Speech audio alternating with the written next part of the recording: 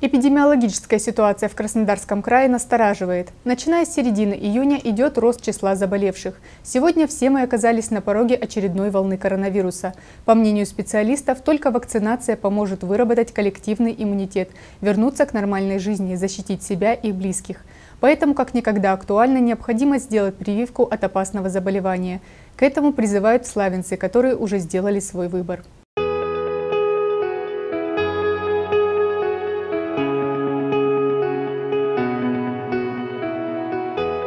Чтобы избежать осложнений в случае заражения коронавируса и быть в отличной форме, быть здоровой, в апреле месяце я сделала прививку от коронавируса. Медицинские работники прямо приехали к нам в бассейн и поставили нам эти прививки. После прививки я чувствовала себя хорошо, никаких осложнений не было. Единственное, один-два дня болело место укола, но это быстро потом со временем прошло. Это было связано с тем решением, что большое количество людей к нам приходит в бассейн. Мы занимаемся с детьми, контактируем с ними. Я выступаю часто на соревнованиях. И чтобы не пропускать важные старты и быть в отличной форме, я сделала этот выбор. И к этому призываю всех сделать вакцину, пока не поздно.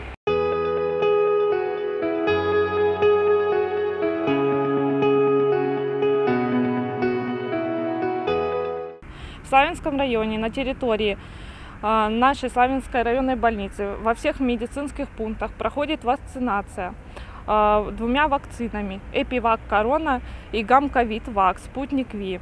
Привиться может любой желающий а, двухкратно в интервале 21 день. Существуют, конечно, и группы риска, которым однозначно нужно привиться.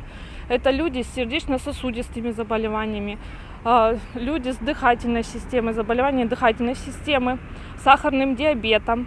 И все э, пациенты с иммунодефицитами а, непосредственно должны прийти на вакцинацию, независимо от возраста. А вакцинацию проходит большинство э, жителей нашего района, переносится хорошо побочных э, явлений мы не наблюдали.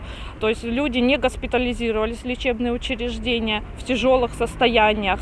У некоторых э, была реакция, это субфибрильная температура, которая считается также нормальным явлением при вакцинации.